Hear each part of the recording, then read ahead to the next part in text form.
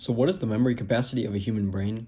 Well, we know that the human brain has roughly 100 billion neurons, and each one of those neurons can make 1,000 or more connections with other neurons, meaning that a cerebral cortex is capable of processing roughly 125 trillion synapses. That's quite a lot.